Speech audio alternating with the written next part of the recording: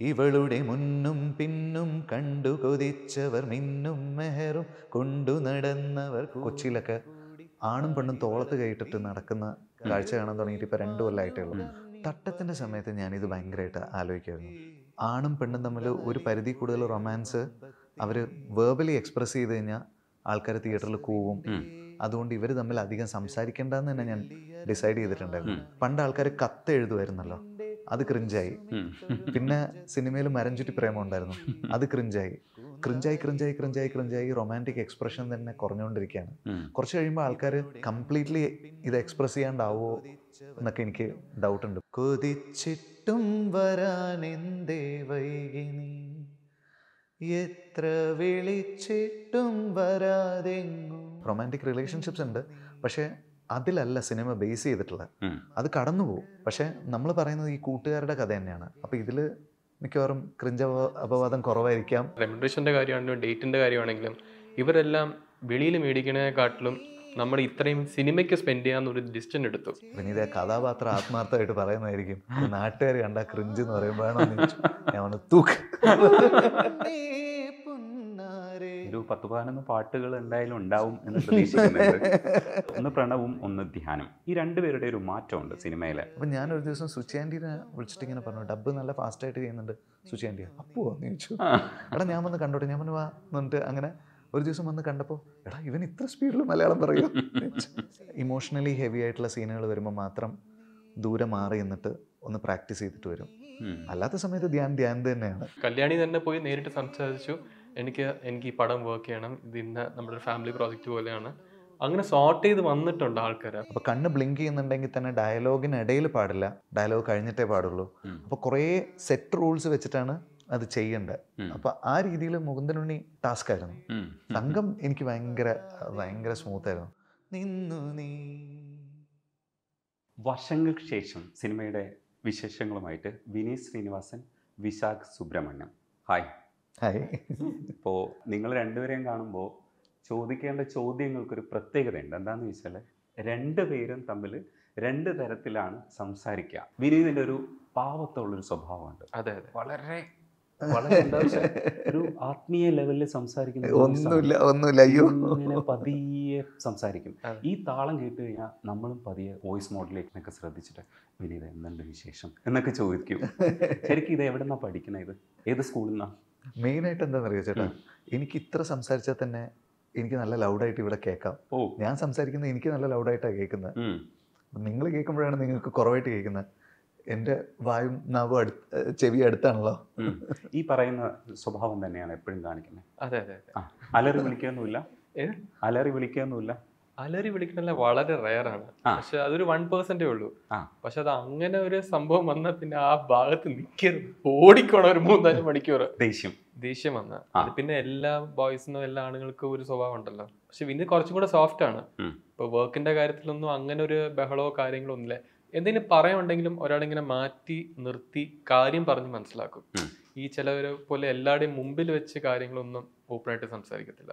അങ്ങനത്തെ ഒരു quality വിനീതുണ്ട്. സെറ്റില്ല produce ചെയ്യാൻ എളുപ്പമാണെന്നാണ് പറഞ്ഞു വരുന്നത്. പ്രൊഡ്യൂസ് ചെയ്യാൻ വിനീത് ഒരു നാക്കുണ്ട് അത് ഞാൻ ആദ്യം എനിക്കൊന്നും മനസ്സിലായില്ല.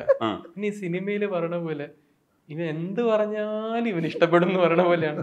ഇപ്പൊ വിനീതിന്റെ ഒരു വേ ഉണ്ട്. അത്. പറഞ്ഞ് മനസ്സിലാക്കി. പിന്നെ ഒരു പേപ്പറിൽ എന്തെങ്കിലും കുറച്ച് അങ്ങോട്ടോ ഇങ്ങോട്ടോ വരെയാണെങ്കിൽ എടാ ഇത് നമുക്ക് ഇങ്ങനെ എടുത്താൽ നന്നായിരിക്കും. സിനിമയിൽ വരുമ്പോൾ ഇങ്ങനെ ആയിരിക്കും.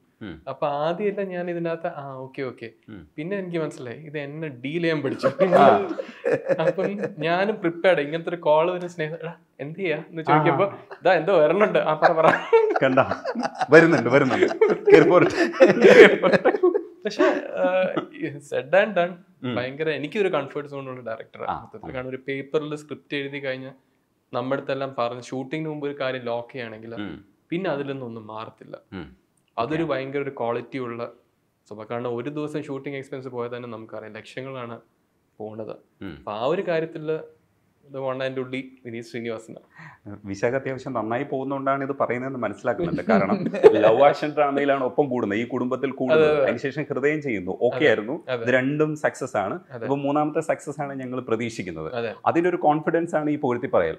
ആക്ച്വലി ഇപ്പം നമ്മ ആക്ച്വലി ഇപ്പൊ നമ്മൾ നോക്കിയില്ലേ എല്ലാവരുടെയും വിചാരം ഇതെല്ലാം ബിസിനസ് എല്ലാം ആയിട്ട് നമ്മൾ വന്നിരിക്കണതായിരിക്കും. പക്ഷെ ഈ പടത്തിന്റെ ബഡ്ജറ്റ് വൈസ് എല്ലാം നല്ല അത്യാവശ്യം നമ്മളൊരു കോംപ്രമൈസ് ചെയ്യാതെ ഷൂട്ട് ചെയ്യണം. ചങ്ക് പടക്കണത് കണ്ടോ? പക്ഷെ കോമൺ ഷൂട്ട് ചെയ്യണം. പക്ഷെ ഈ സ്ക്രിപ്റ്റിൽ ഒരു വിശ്വാസം ഉണ്ടല്ലോ. ഇപ്പം വിനീതിന് അറിയാം എനിക്കും സിനിമ എന്ന് പറഞ്ഞ പാഷനാ എന്റെ ബ്ലഡിലുള്ളതാ അപ്പം ഒരു സിനിമയ്ക്ക് വേണ്ടി ഞാനും ഏത് ലെവൽ വേണമെങ്കിൽ പോവും. വിനീതും ആ സിനിമ നന്നാക്കാൻ വേണ്ടി ഏത് എക്സ്ട്രീം വരെയും പോവും. പിന്നെ നമുക്ക് തമ്മിൽ അങ്ങോട്ടും ഇങ്ങോട്ടും ഒരു ഒരു അണ്ടർസ്റ്റാൻഡിങ് ഉണ്ട്. അപ്പൊ അതാണ് ഈ സിനിമകളെല്ലാം നന്നായിട്ട് പോകാൻ ഒരു കാരണം വിനീത് മലർവാടി ആർട്സ് ക്ലബ്ബ് തട്ടത്തിൻ മറയത്ത്. അത് കഴിഞ്ഞിട്ട് ജേക്കബിന്റെ സ്വർഗരാജ്യം തീര. തിര ഇടയ്ക്കുണ്ട്. പിന്നെ നമ്മൾ ഹൃദയത്തിൽ വന്നു. ഇപ്പോൾ വന്ന് നിൽക്കുന്ന പടം വർഷങ്ങൾക്ക് ശേഷം. ഈ തിര ഒഴിവാക്കി നിർത്തിക്കഴിഞ്ഞാൽ വേറെ പടങ്ങൾക്കൊക്കെ പലതരത്തിലുള്ള അഭിപ്രായം വരുമ്പോഴും ഈ ക്രിഞ്ച് പിന്നെ പൈങ്കിളി എന്നൊക്കെ പറയുന്ന ജോണറുകളിൽ ചില ട്രോളൊക്കെ വരും. പക്ഷെ ട്രോളുകൾക്ക് അപ്പുറത്തേക്ക് ഇത് ആസ്വാദ്യകരമായ ഒരു പടമാണ് എന്ന് നമുക്ക് തോന്നുന്നുണ്ട്. ഇപ്പോൾ ഈ പടത്തിൽ തന്നെ ലെങ്ത് കൂടുതലാണെന്ന് കേൾക്കുമ്പോൾ ഞാൻ സന്തോഷിക്കുകയാണ് ചെയ്യുന്നത്. ചില കാര്യങ്ങൾ ലെങ്തിൽ പറയുമ്പോൾ നമുക്ക് ഈ ക്യാരക്ടേഴ്സ് ഒക്കെ ഒരുപാടുള്ളതിലൊക്കെ നമ്മൾ വേറൊരു ലോകത്തിലെത്തുന്നതായിട്ട് ഫീൽ ചെയ്യും. ഹൃദയത്തിൽ അതേപോലെയായിരുന്നു. ഒരു ഹാഫ് കഴിയുമ്പോഴത്തേക്കൊക്കെ നമ്മൾ വേറൊരു ലോകത്തിൽ എത്തിക്കഴിഞ്ഞു എന്താണ് ഈ പടം എങ്ങനെയാണ്? അത് എങ്ങനെയാണ് വർക്കൗട്ട് ആവുന്നതാണ് വിനീത് പ്രതീക്ഷിക്കുന്നത് ഇത് ഒരു ഇതിലൊരു ജേണി ഉണ്ട് ചേട്ടാ. അതായത് ഒരാളുടെ ലൈഫ് നമ്മൾ ഒരു ഒരു കാലഘട്ടം തൊട്ട് ഫോളോ ചെയ്തിട്ട് അതിങ്ങനെ ഏർലി സെവന്റീസിൽ തുടങ്ങി. ലേറ്റ് സെവന്റീസിലേക്ക് പോയി ഏർലി എയ്റ്റീസിലേക്ക് പോയി. പിന്നെ ഒന്ന് ലേറ്റ് എയ്റ്റീസിൽ ഒന്ന് ടച്ച് ചെയ്ത് പ്രസന്റിലേക്ക് വന്ന് അങ്ങനെ പല കാല ഇപ്പോൾ ഹൃദയമാണെങ്കിൽ ഒരു പത്ത് വർഷത്തെ സ്പാൻ ഓഫ് ടൈമിൽ ഒരു മനുഷ്യന്റെ ലൈഫിൽ കൂടെയാണ് നമ്മൾ പോയത്. ഇത് ആ സ്പാൻ ഓഫ് ടൈമും കുറച്ചും കൂടി വലുതാണ്. വേൾഡ് ശരിക്കും മാറുന്നുണ്ട്. അതെ. ഇപ്പോൾ സെവന്റീസിലാണ് നമ്മൾ തുടങ്ങുന്നത്. നമ്മൾ രണ്ട് ക്യാരക്ടേഴ്സിനെ ഫോളോ ചെയ്യുന്നത്.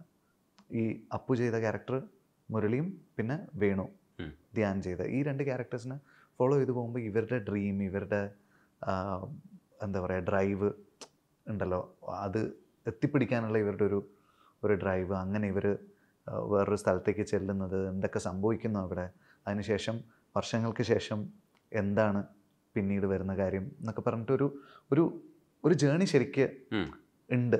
അതായത് പടം തുടങ്ങിയെടുത്തുനിന്ന് തീരുമ്പോൾ കംപ്ലീറ്റ്ലി വേറൊരു സ്പേസിൽ ചെന്നിട്ട് ആ പടം നിൽക്കുന്ന അപ്പോൾ അങ്ങനെ അങ്ങനെ ഒരു ഒരു ട്രാവൽ അത് എഴുതുമ്പോഴും എനിക്ക് ഭയങ്കര ഇൻട്രസ്റ്റിംഗ് ആയിരുന്നു. പിന്നെ ഓരോ ടെക്നീഷ്യൻസ് ഇതിനകത്ത് വന്നിട്ട് ഫോർ എക്സാമ്പിൾ ആർട്ട് ചെയ്യുന്ന സമയത്ത് നമ്മൾ ഒരിക്കലും ജീ നമ്മൾ ജീവിച്ചിട്ടില്ലാത്തൊരു കാലത്തെയാണല്ലോ നമ്മൾ ഉണ്ടാക്കിയെടുക്കുന്നത്. അത് നമുക്ക് എവിടെയെങ്കിലും പോയി ലൈവായിട്ട് ഷൂട്ട് ചെയ്യാൻ പറ്റില്ലല്ലോ. അപ്പോൾ അതിന്റെ ഒരു ത്രില്ല് ഭയങ്കരമായിട്ടുണ്ട്. അതിന്ന് നമ്മൾ പ്രസന്റിലേക്ക് വരുന്ന സമയത്ത് കംപ്ലീറ്റ്ലി വേറൊരു എസ്തെറ്റിക്സിലാണ്. നമ്മൾ ഷൂട്ട് ചെയ്യുന്നത് ഈ പടം ഫസ്റ്റ് ഹാഫ് ഒരു ആരിയുടെ അലക്സയിലും സെക്കൻഡ് ഹാഫ് സോണി വെനിസിലുമാണ്. ആണ് രണ്ടിനും രണ്ട് ലുക്ക് ആൻഡ് ഫീലാണ് ആണ്. അപ്പോൾ ഒരു പടത്തിൽ തന്നെ രണ്ട് different kind of cinema experience ചെയ്തിട്ടുണ്ട് ഞാൻ. അപ്പോൾ എനിക്കത് ഭയങ്കര എക്സൈറ്റിംഗ് ആണ്. ഒരു പത്ത് പതിനൊന്ന് പാട്ടുകൾ എന്തായാലും ഉണ്ടാവും എന്ന് പ്രതീക്ഷിക്കുന്നുണ്ട്. അല്ല അതൊക്കെ ഫീലാണ്. ഞാൻ പറയുന്നത് ഇത്തരത്തിലുള്ള പടങ്ങളിൽ രജനീഷ് ചേട്ടന് പാട്ടുകൾ ഇഷ്ടമുള്ളതുകൊണ്ട് അത് ഫീലാണ്. അല്ലല്ലല്ല. തട്ടത്തിൻ മറയത്തിൽ മുത്തുച്ചിപ്പിയൊക്കെ ചെയ്യുമ്പോൾ ഒരു പാട്ടായിട്ട് കേട്ടിട്ടുണ്ട്. പക്ഷേ ഹൃദയത്തിലെത്തുമ്പോൾ അതൊരു പാട്ടായിട്ട് കേട്ടിട്ടില്ല. ഇതിന്റെ ഭാഗമായിട്ടുള്ള ഒരു കഥ പറച്ചിൽ രീതിയാണത്. മ്യൂസിക്കലായിട്ട് കഥ പറയുന്നു എന്നുള്ള. അത്തരം ഒരു അപ്രോച്ച് തന്നെയല്ലേ ഇതും? ഇതിൽ ഇതിൽ അങ്ങനെ ഒരു രീതിയിൽ തന്നെ ഇതും പോകുന്നത്. പക്ഷേ ഇതിലെന്താണെന്ന് വെച്ച് കഴിഞ്ഞാൽ കാലഘട്ടം മാറുമ്പോൾ പാട്ടുകളുടെ രീതി മാറിയിട്ടുണ്ട്. മാറും. സ്വഭാവം മാറിയിട്ടുണ്ട്. നമ്മൾ ഒട്ടും ഓൺ ദ ഫേസ് ആയിട്ട് ഒന്നും ചെയ്യാൻ നോക്കിയിട്ടില്ല. പക്ഷേ സെക്കൻഡ് ഹാഫിലുണ്ട് സെക്കൻഡ് ഹാഫിൽ നിവിന്റെ ഒരു ഏരിയ ഒക്കെ വരുമ്പോൾ നമ്മൾ റൈറ്റ് ഓൺ ദ ഫേസ് എന്ന് പറയുന്ന പോലെ തന്നെയുള്ള ഒരു അപ്രോച്ച് മെലഡിക്കുണ്ട് കാരണം അത് അവിടെ അത് ഡിമാൻഡ് ചെയ്യുന്നുണ്ട്. പക്ഷേ സെക്കൻഡ് ഹാഫിൽ ഫസ്റ്റ് ഹാഫിൽ എവിടെയും നമ്മൾ എന്താ പറയുക ഒരു ബാക്ക് സീറ്റ് എടുത്ത് നിൽക്കുക എന്ന് പറയൂലേ ആളുകൾ അത് ആസ്വദിക്കട്ടെ എന്നുള്ള രീതിയിൽ അങ്ങനത്തെ അങ്ങനത്തെ പാട്ടുകൾ എന്റെ സിനിമയിൽ വന്നിട്ടില്ല. ഒട്ടും പുഷ് ചെയ്യാതെ പാട്ടിനെ പാട്ടായിട്ട് തന്നെ നിർത്തി അങ്ങനെ അങ്ങനെ ചെയ്യാൻ പറ്റിയിട്ടുണ്ട്. ദിവ്യയെ കൊണ്ട് പാടിപ്പിച്ചത് പ്രൊഡ്യൂസർ നിർബന്ധിച്ചിട്ടാണോ? കാശ് കുറയ്ക്കാൻ വേണ്ടി. അല്ല അത് വൈഫും കൂടെ പാടട്ടെ എന്ന് വിചാരിച്ചു. അല്ലല്ല അത് കമ്പോസ് ചെയ്ത് വന്നപ്പോൾ അങ്ങനെ ഒരു ഐഡിയ വന്നതാണ്. അപ്പൊ അമൃത് ഒരു ദിവസം ദിവ്യയുടെ വോയിസ് റെക്കോർഡ് ചെയ്തു. അപ്പൊ ഞാൻ അതിൽ പാടാൻ വിചാരിച്ചിരുന്നില്ല. അപ്പോൾ റെക്കോർഡ് ചെയ്തുകൊണ്ടിരിക്കുന്ന സമയത്ത് പെട്ടെന്ന് ഈ ലൈൻ ഞാൻ പാടിയ നന്നായിരിക്കും. ബെറ്റർ ആയിരിക്കും നന്നായിരിക്കും എന്ന് തോന്നിയിട്ട് ഒരു ലൈൻ ഞാൻ ഉള്ളതാണ്. പിന്നെ സപ്പോർട്ട് ചെയ്ത്. പിന്നെ ഞാൻ ഒരു പൈസയും കൊടുത്തിട്ടില്ല. അതുകൊണ്ട് മേടിച്ചില്ല. ഒബ്ജക്ഷൻ ഇല്ലായിരുന്നു. അല്ല വിശാഖ് അങ്ങനെ ഒരു കാര്യത്തിലും അങ്ങനെ. നമുക്ക് മ്യൂസിക് ഒക്കെ വിശാഖ അങ്ങനെ ഒരു സജഷൻ പോലും പറയാറില്ല. നമ്മൾ ചെയ്യുന്നതിന്റെ കൂടെ നിൽക്കും. അങ്ങനെയാണ്. ബോംബെ ജയശ്രീ മാഡത്തിന്റെ മകനാണ് അമൃതം എന്ന് കേട്ടപ്പോൾ എനിക്കറിയില്ലായിരുന്നു അത്തരം ഒരു വിവരം. അത് ഭയങ്കര ഒരു രസമുള്ള ഒരു സാധനമാണ്. എങ്ങനെയാ കണ്ടുമുട്ടിയത്? ഞാൻ ഞാൻ ആദ്യം അമൃതിന്റെ പാട്ടുകളാണ് കേൾക്കുന്നത് അതായത് മോരാ സയ്യ എന്ന് പറഞ്ഞിട്ട് അമൃതിന്റെ ഐറ്റ്യൂൺസിൽ വന്നിട്ടുള്ള ഒരു ഒരു കവർ ഉണ്ടായിരുന്നു. അത് കേട്ടു. അതിനുശേഷം പിന്നെ കുറുക്കൻ എന്ന് പറഞ്ഞ സിനിമ ഞാൻ അഭിനയിച്ചുകൊണ്ടിരിക്കുന്ന സമയത്ത് അതിൽ അഭിനയിച്ച ശ്രുതി എന്ന് പറയുന്ന ഒരു ഒരു പെൺകുട്ടിയുണ്ട്. അപ്പോൾ അവൾ എനിക്ക് ഈ മനസ്സേ എന്ന് പറഞ്ഞിട്ട് അമൃതിന്റെ ഒരു പാട്ട് കേൾപ്പിച്ചു തന്നു അപ്പോൾ ഇയാളാണല്ലോ അയാൾ എന്ന് പറഞ്ഞിട്ട് ഇങ്ങനെ മൈൻഡിലുണ്ട്. ഞാൻ പുതിയ കമ്പോസേഴ്സ് വരുമ്പോൾ എപ്പോഴും ഇങ്ങനെ മെന്റലി മാർക്ക് ചെയ്ത് വെക്കും. കൊള്ളാവുന്ന ആൾക്കാരെ. അപ്പോൾ അങ്ങനെ ഞാൻ മാർക്ക് ചെയ്തിട്ടുള്ള ഒരാളായിരുന്നു. അമൃത്. പിന്നെ എന്റെ അപ്പാർട്ട്മെന്റിൽ താമസിച്ച ഒരാളുടെ ക്ലോസ് ഫ്രണ്ട് ആയിരുന്നു പുള്ളി അപ്പോൾ അതറിഞ്ഞപ്പോൾ ഞാൻ ദിവ്യയുടെ അടുത്ത് ഇങ്ങനെ ചോദിച്ചു. ദിവ്യയുടെ അടുത്ത് ചോദിച്ചപ്പോൾ ദിവ്യ പറഞ്ഞു ഈ പുള്ളിക്കാരൻ എന്നെ മീറ്റ് ചെയ്യാൻ പറ്റുമെന്ന് ദിവ്യയുടെ അടുത്ത് ചോദിച്ചിട്ടുണ്ട് എന്ന് പറഞ്ഞു അപ്പം അങ്ങനെയാണെങ്കിൽ വീട്ടിലേക്ക് വരാൻ വേണ്ടിയിട്ട് ഞാൻ പറഞ്ഞു.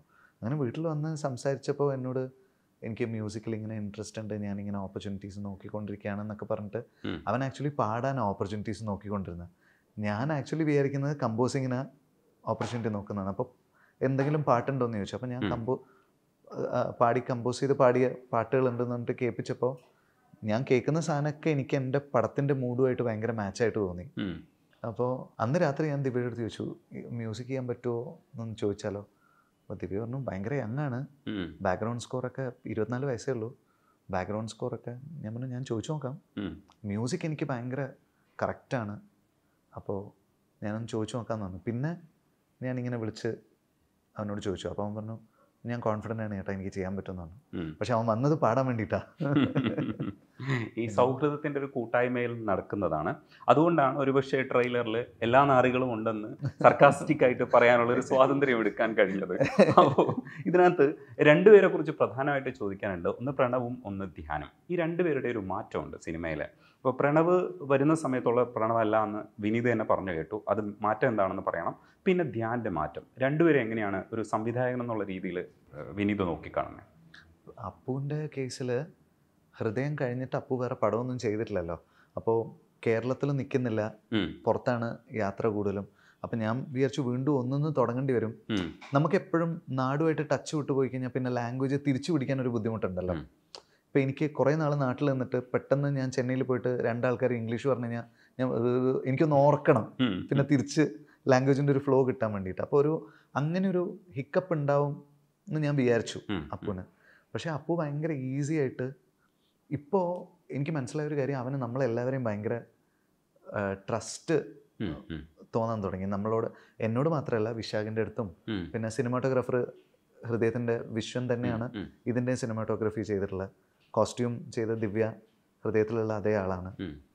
അപ്പോൾ പിന്നെ ആർട്ട് അസിസ്റ്റൻസ് ക്യാമറ ഡിപ്പാർട്ട്മെന്റിലുള്ള ആൾക്കാർ ഡയറക്ടർ എഡിറ്റർ കുറേ പേര് സെയിം ആൾക്കാർ തന്നെയാണ് അപ്പോൾ ആ ട്രസ്റ്റ് ഓൾറെഡി ഉള്ളതുകൊണ്ട് പെർഫോം ചെയ്യുമ്പോൾ അവനത് ഭയങ്കരമായിട്ട് ഹെൽപ്പ് ചെയ്യുന്ന പോലെ എനിക്കിപ്പോൾ തോന്നുന്നുണ്ട്.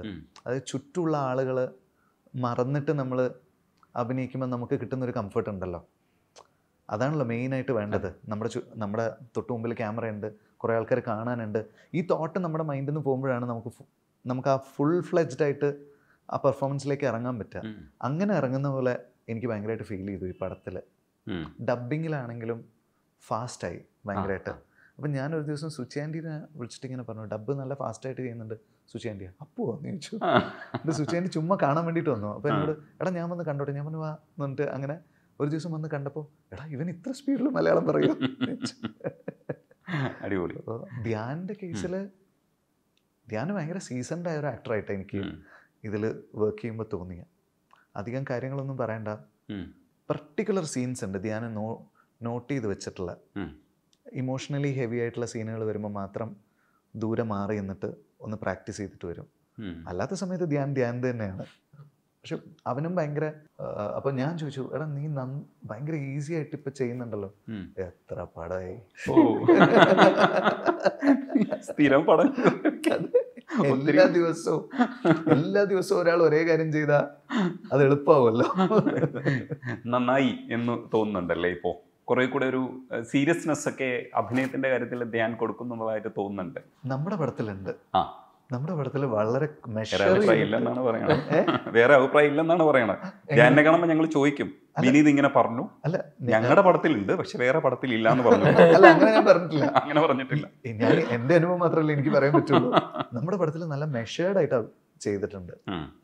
ഇപ്പൊ ഒരു ഇതിൽ മറ്റേ ഓൾഡ് ഏജ് ആയിട്ടുള്ള ഒരു ഭാഗം പ്ലേ ചെയ്യുന്നുണ്ടല്ലോ. ആ സമയത്തുള്ള ബോഡി ലാംഗ്വേജും ഫസ്റ്റ് ഹാഫിലുള്ള ബോഡി ലാംഗ്വേജും രണ്ടും രണ്ടായിട്ട് തന്നെ പിടിച്ചിട്ടുണ്ട്.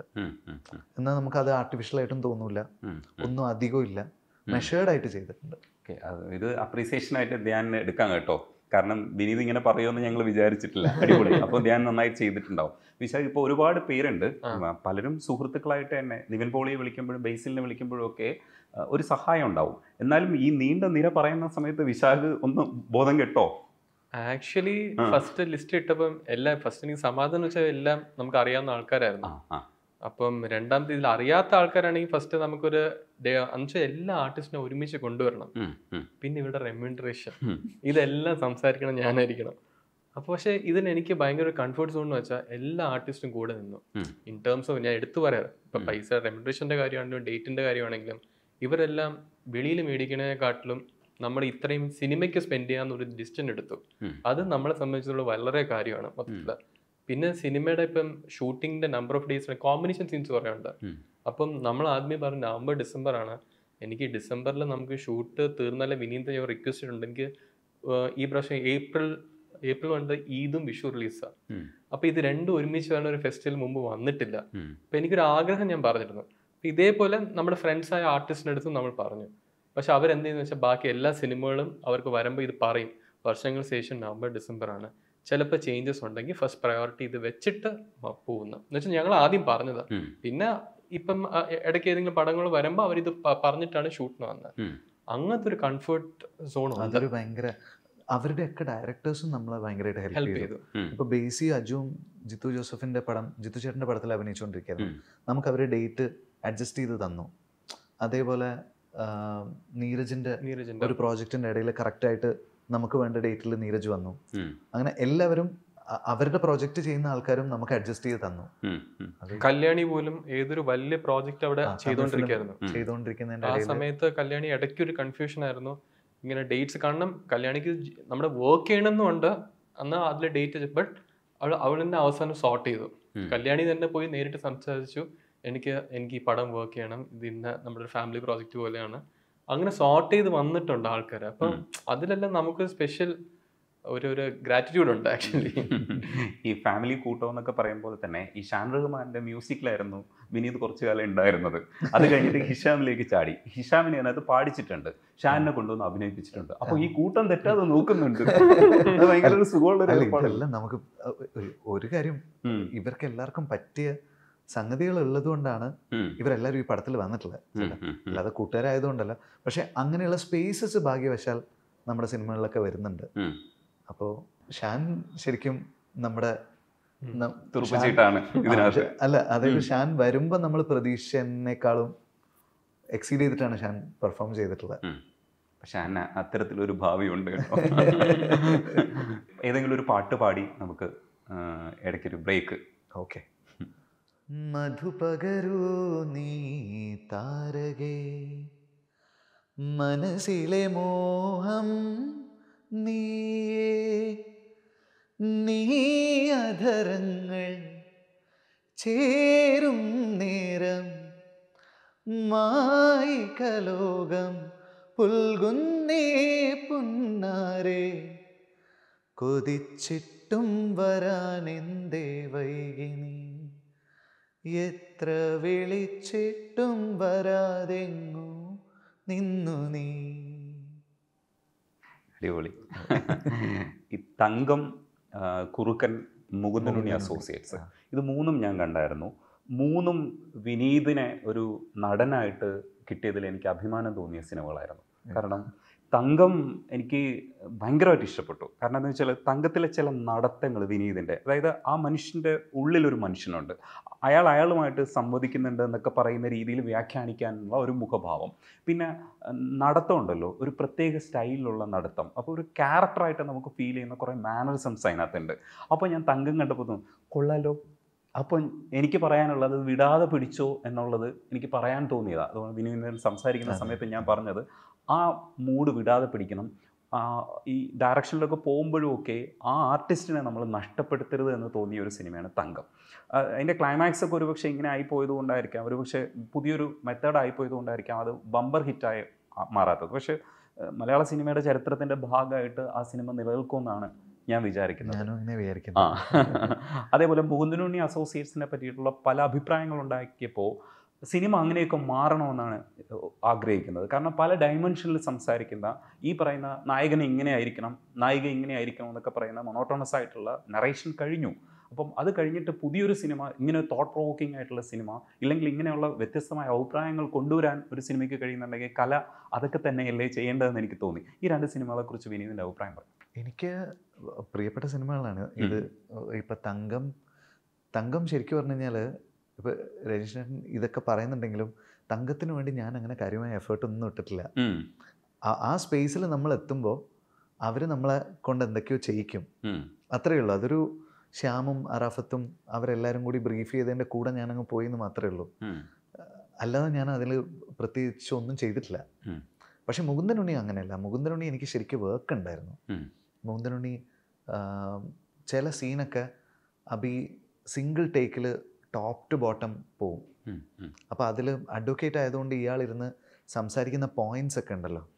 നമ്മൾ പണ്ട് എസ് എ ഒക്കെ മനഃപ്പാടം പഠിക്കുന്ന പോലെ അങ്ങനെ മനഃപ്പാടം പഠിച്ചിട്ട് ഇപ്പം നമ്മൾ ബൈഹാർട്ട് ചെയ്ത് കഴിഞ്ഞാൽ നമുക്ക് ഒരു ഗ്രാഫ് ഉണ്ടാവും. ഇപ്പം നമ്മൾ സംസാരിക്കുമ്പോൾ തന്നെ നമുക്കൊരു ഗ്രാഫ് ഉണ്ടല്ലോ. ആ ഗ്രാഫ് വെച്ച് നമുക്ക് ബൈഹാർട്ട് ചെയ്ത സാധനം പിടിക്കാൻ പറ്റും. മൂന്നിനുള്ളിലുള്ള ഏറ്റവും വലിയ ചാലഞ്ച് എന്ന് പറയുന്നത് നമുക്ക് ആ ഗ്രാഫ് പിടിക്കാൻ പറ്റില്ല. മോഡുലേറ്റ് ചെയ്യാൻ പറ്റില്ല. മോഡലേറ്റ് ചെയ്യുന്ന അബിക്ക് ഇഷ്ടമല്ല. ഇയാൾ ഭയങ്കര ഒരു മോണോ ടോണിൽ കൊണ്ടുപോകണം. അപ്പോൾ എന്താണെന്ന് വെച്ച് കഴിഞ്ഞാൽ മെമ്മറൈസ് ചെയ്ത സാധനം പെട്ടെന്ന് ഈസിലി പറയാൻ പറ്റില്ല. അത് ഭയങ്കര ടഫായിരുന്നു കാരണം നമുക്ക് നാച്ചുറലി ഒരു സാധനം പിക്ക് ചെയ്തെടുക്കാൻ പറ്റില്ല. അപ്പോൾ ശരിക്കും ഒരു ലോഗരിതം ടേബിളൊക്കെ പഠിക്കുന്ന പോലെ ബൈഹാർട്ട് പഠിച്ചിട്ട് യാതൊരു മോഡുലേഷനും ഇല്ലാണ്ട് അങ്ങനെ ഡെലിവർ ചെയ്യണം. അപ്പോൾ പിന്നെ ഡെലിവറിയുടെ ഇടയിൽ കണ്ണ് ബ്ലിങ്ക് ചെയ്യാൻ പാടില്ല പല സീനിലും. ഓ. അപ്പോൾ അവൻ അങ്ങനെ കുറേ സ്പെസിഫിക്സ് ഉണ്ടായിരുന്നു. അപ്പോൾ കണ്ണ് ബ്ലിങ്ക് ചെയ്യുന്നുണ്ടെങ്കിൽ തന്നെ ഡയലോഗിനിടയിൽ പാടില്ല. ഡയലോഗ് കഴിഞ്ഞിട്ടേ പാടുള്ളൂ. അപ്പോൾ കുറേ സെറ്റ് റൂൾസ് വെച്ചിട്ടാണ് അത് ചെയ്യേണ്ടത്. അപ്പോൾ ആ രീതിയിൽ മുകുന്ദനുണ്ണി ടാസ്ക് ആയിരുന്നു. തങ്കം എനിക്ക് ഭയങ്കര ഭയങ്കര സ്മൂത്ത് ആയിരുന്നു. പക്ഷെ മുകുന്ദനുണ്ണി ഡബ് ഞാൻ ഭയങ്കരമായിട്ട് എൻജോയ് ചെയ്തൊരു സിനിമയാണ്. ഡബിലാണ് ഞാൻ ആ പടം പിടിച്ചത്. ശരിക്കും അല്ല പെർഫോം ചെയ്യുമ്പോഴും നമുക്ക് ഒരു ഹൈ കിട്ടുന്നുണ്ടായിരുന്നു. കാരണം ഇതുണ്ടല്ലോ ഇതിനൊരു എഫേർട്ട് ഉണ്ടല്ലോ.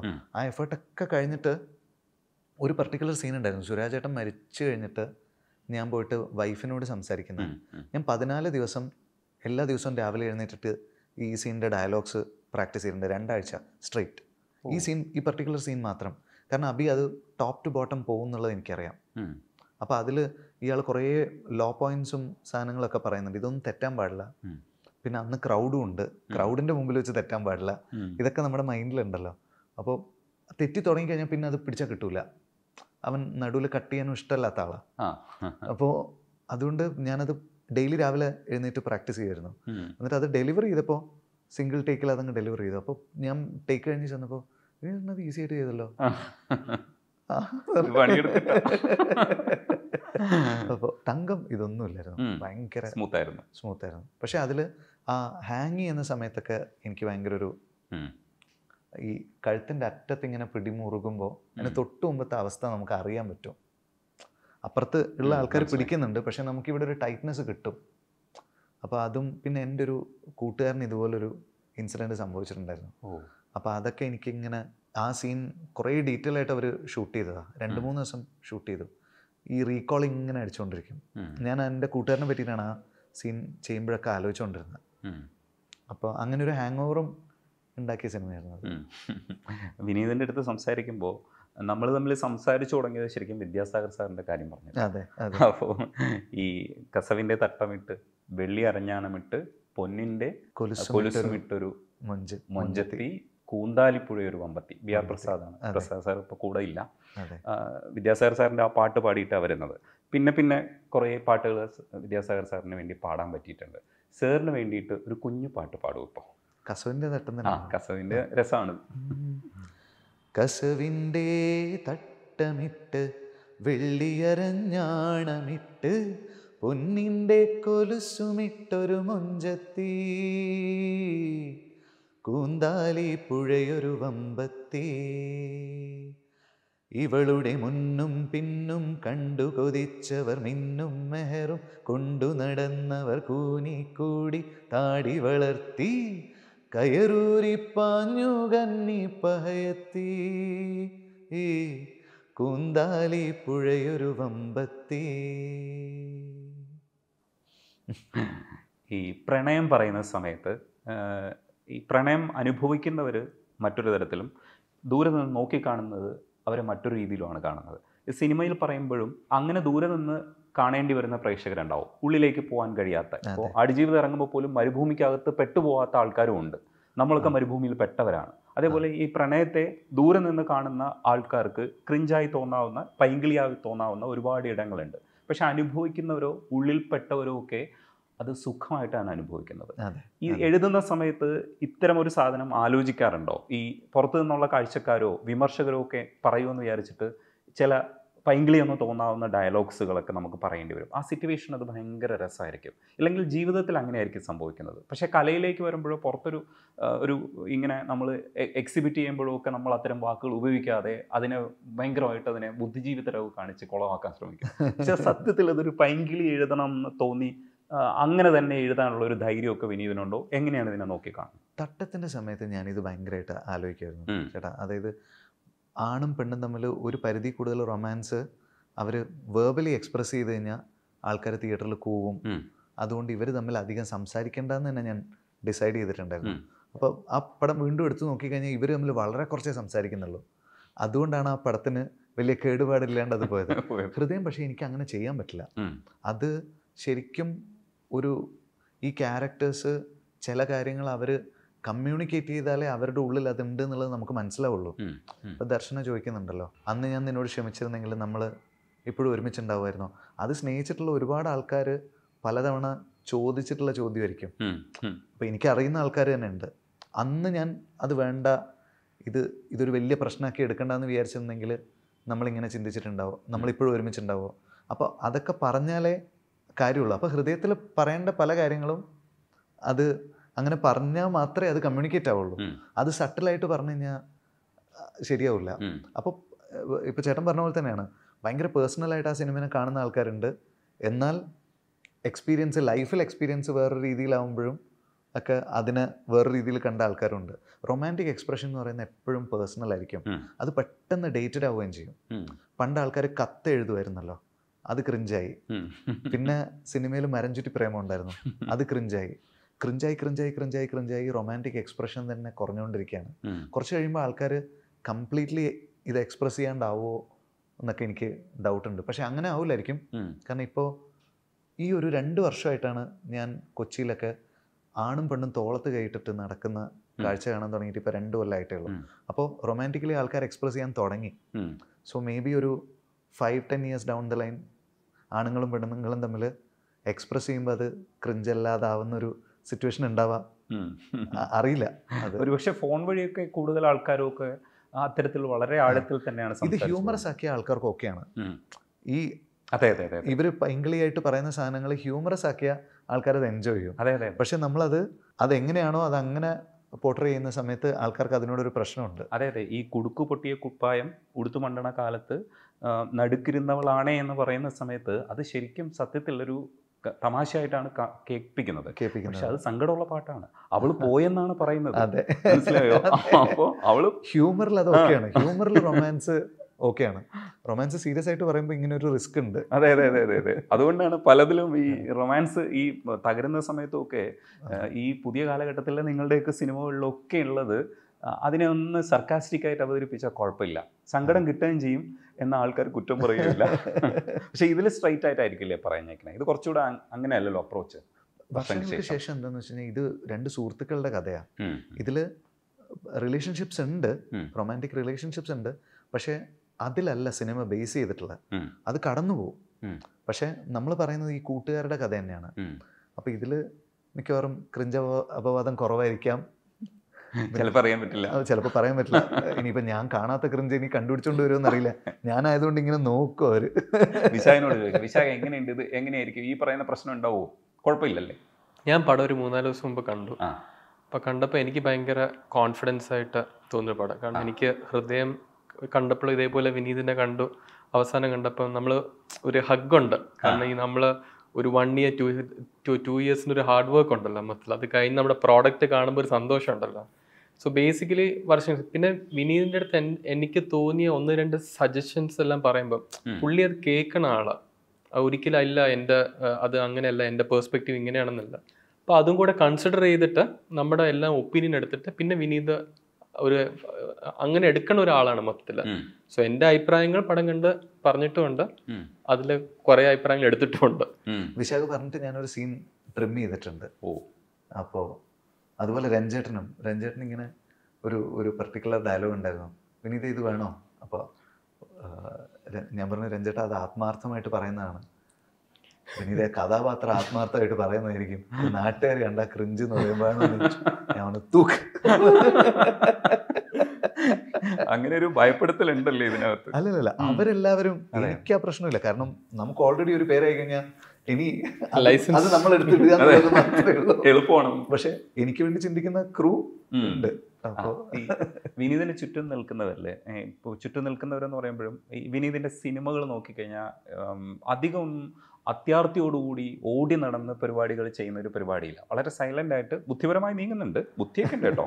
അപ്പോഴും ഈ സൈലന്റ് ആയിട്ടുള്ള ബുദ്ധിയാണ് പ്രയോഗിക്കുന്നത് എന്നുള്ളതാണ് സത്യം. അത് പറയണം അതിന്റെ ഇടയ്ക്ക്. പക്ഷേ ബുദ്ധിയല്ല പലപ്പോഴും പേടിയാണ് കേട്ടോ. കാരണം ഭയങ്കരമായിട്ട് ഹൈപ്പ് ചെയ്തിട്ട് വീഴുന്നത് കാണുമ്പോൾ നമുക്ക് പേടിയാണ്. അതാണ് അതിന്റെ കാര്യം. ആ ഇപ്പോൾ ഇതിന്റെ പ്രൊമോഷൻ തന്നെ വളരെ സൈലന്റ് ആയിട്ടാണ് ഇത് പോകാൻ ഉദ്ദേശിക്കുന്നതെന്ന് തോന്നുന്നു. അതൊരു സ്ട്രാറ്റജിയാണ് വിനീതിന്റെ അത്തരം സ്ട്രാറ്റജീസ് വിജയിക്കുന്നുണ്ട്. പക്ഷേ ഒരു ഭയങ്കര ഒരു ഗ്രീഡൊന്നുമില്ല ഇങ്ങനെയൊക്കെ ജീവിച്ച് പോയാൽ മതി എന്ന് പറയുന്ന ഒരാളാണ്. പിന്നെ ഫാമിലി ആയിട്ടുള്ള ഒരു കണക്ഷന്റെ കാര്യത്തിൽ കുറച്ച് കൂടുതൽ ടൈം സ്പെൻഡ് ചെയ്യണമെന്ന് അങ്ങനെ ആഗ്രഹിക്കുന്നുണ്ട്. ഒരു പക്ഷേ അതൊക്കെ കൊണ്ടായിരിക്കും അങ്ങനെ ക്വാളിറ്റേറ്റീവ് ആയിട്ടുള്ള ടൈം ഫാമിലിയുമായിട്ട് കൂടുതൽ വിനിയോഗിക്കണം എന്നുള്ളതുകൊണ്ടാണോ വലിയൊരു ഹൈപ്പിലേക്ക് വിനീത് പോകാത്തത് ഇല്ലെങ്കിൽ അങ്ങനെ ആഗ്രഹിക്കാത്തത്? ഹൈപ്പ് ആക്ച്വലി ഉണ്ടാവേണ്ടതെന്ന് വെച്ച് കഴിഞ്ഞാൽ സിനിമ ഇറങ്ങി ഇറങ്ങിക്കഴിഞ്ഞിട്ട് വേണം ഹൈപ്പ് ഉണ്ടാവാൻ. അതിന് മുമ്പ് നമ്മൾ ക്രിയേറ്റ് ചെയ്യുന്ന ഒരു ഹൈപ്പ് ഉണ്ടല്ലോ.